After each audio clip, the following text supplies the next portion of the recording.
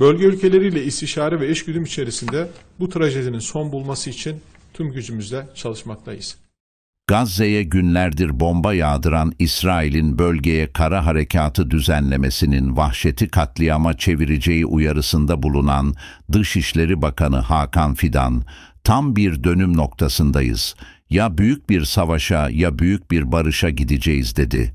Garantörlük teklifini de yineleyerek Avrupalı ülkelere tepki gösteren Bakan Fidan, taraflara sağduyu telkin ederken kimileri savaşa körükle gidiyor, İsrail'e destek verenler bu suçun ortağıdır ifadelerini kullandı.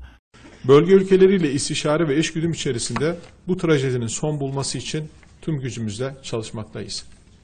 Cumhurbaşkanımız yoğun bir liderler diplomasi temposu içerisinde bölge liderleri ve dünya liderleriyle bu akan gözyaşının durması için, savaşın durması için yoğun bir çalışma ve gayret içerisinde.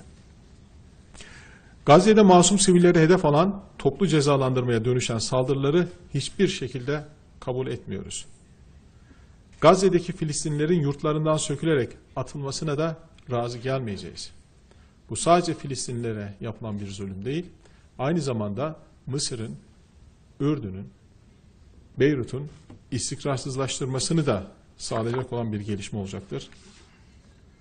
İsrail bu yanlıştan acilen dönmelidir. Gazze'ye yönelik bir kara harekatı bu vahşeti tam bir katliama çevirecektir. Gazze'de savaşın ve sivillere yönelik saldırıların durdurulması için alınabilecek tedbirler aciliyet arz etmektedir.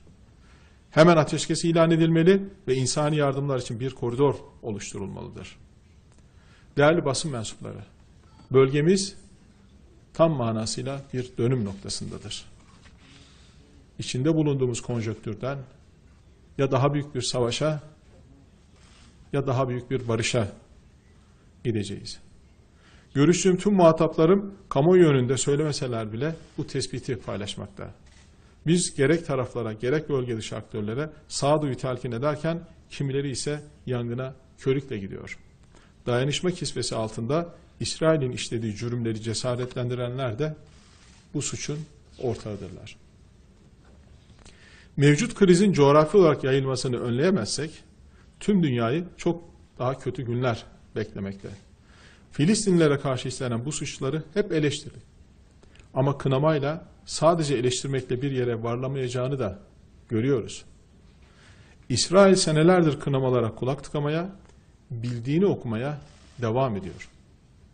Artık somut adımlar için harekete geçme zamanıdır.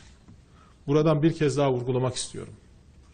Filistin meselesi adil bir siyasi çözüme kavuşturulmadan bölgemizde kalıcı bir barış ve istikrarın tesisi mümkün olmayacaktır.